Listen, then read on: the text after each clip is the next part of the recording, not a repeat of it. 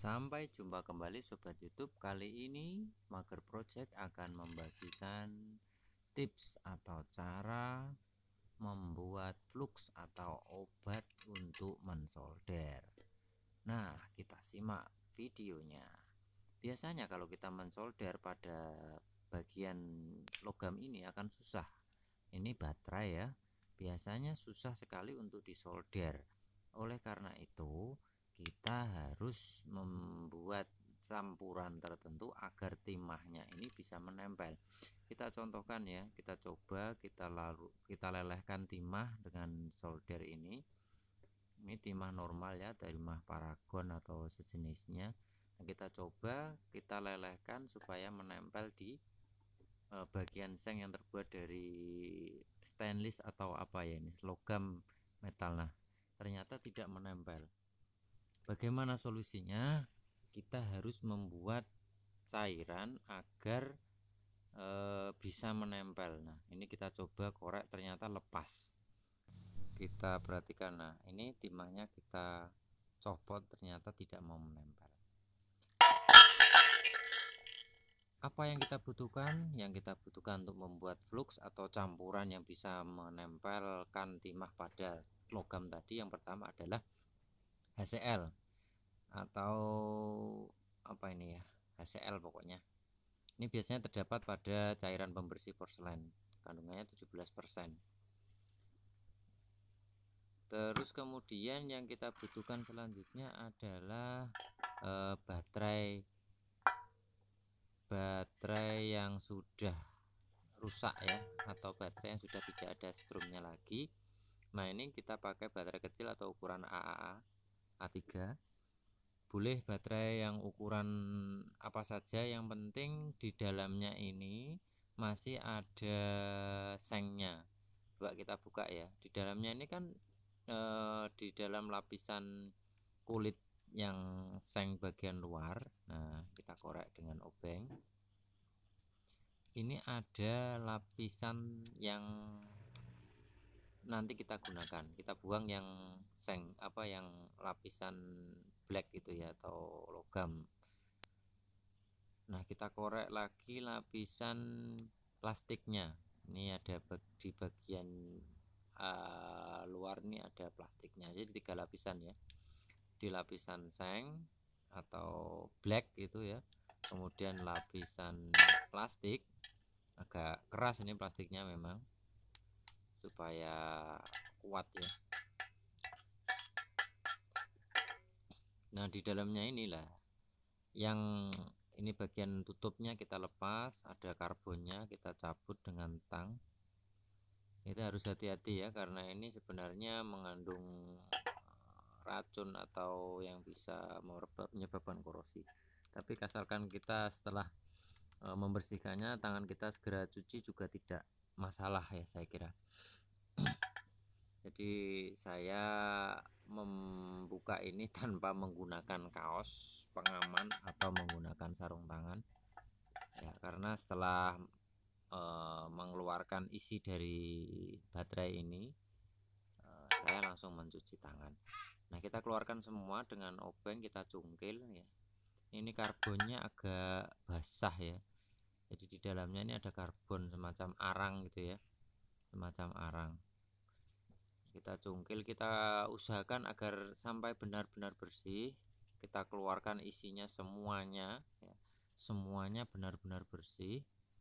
Tidak e, boleh ada karbon yang tersisa ya. Kalaupun ada yang tersisa sedikit-sedikit tidak masalah tapi kalau bisa dikeluarkan sampai benar-benar bersih.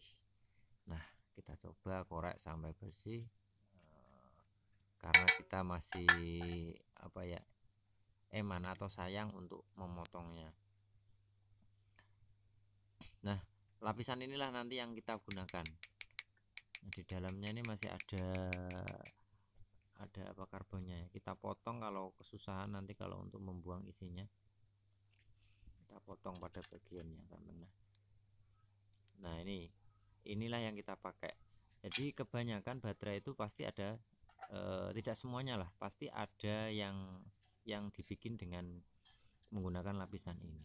Ada juga baterai bekas tetapi lapisan yang kita maksud ini sudah kropos. Ini berarti tidak bisa digunakan. Yang kita gunakan adalah lapisan yang masih kuat ini ya. Ini entah terbuat dari apa ini. Setelah itu kita bersihkan. Setelah kita bersihkan kita potong kita buka ya kita buka agak lebar kita potong dengan gunting tidak apa-apa. Uh, ingat lapisan ini karena ini logam ya kita harus hati-hati memegangnya. Jangan sampai tergores tangan kita. Nah ini sudah kita bersihkan kita cuci tadi dengan air kita gosok-gosok pakai sikat. Setelah bersih kemudian kita potong-potong lagi.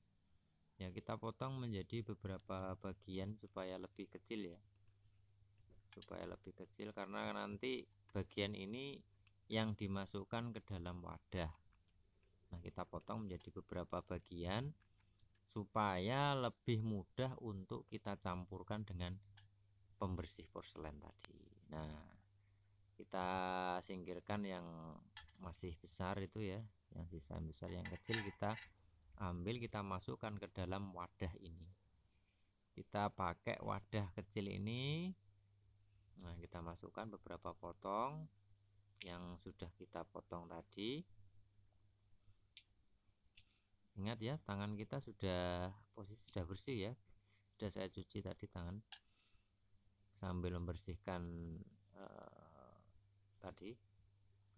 Nah setelah kita masukkan ke dalam wadah kecil tadi kita kita beri campuran atau kita campurkan wings porcelain cleaner tadi atau yang kandungannya HCl tadi ya Nah, kita masukkan pelan-pelan hati-hati karena ini juga menyebabkan korosi atau pengeroposan.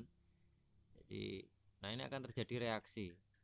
Jadi logam yang kita masukkan, logam baterai tadi yang kita masukkan ke dalam e, wadah tadi, setelah kita campur dengan pembersih porselen, nah ini terjadi reaksi. Reaksinya e, apa?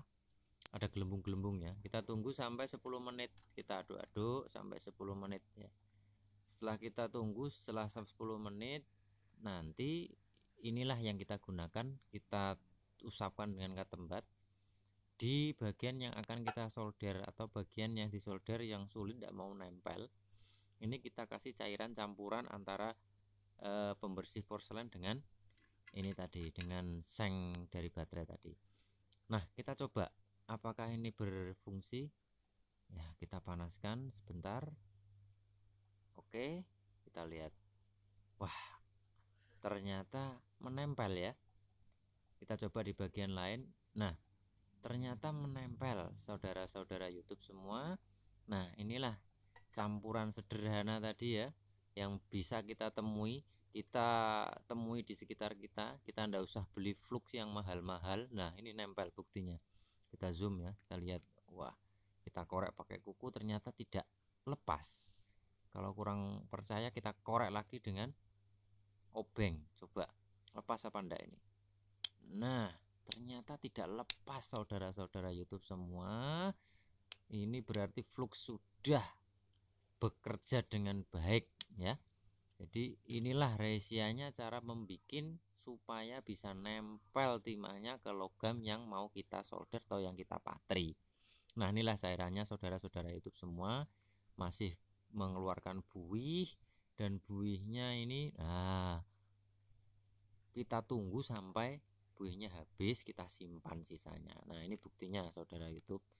Jika senang dengan video kami silahkan like, komen, dan jangan lupa subscribe dan share ke teman-teman Anda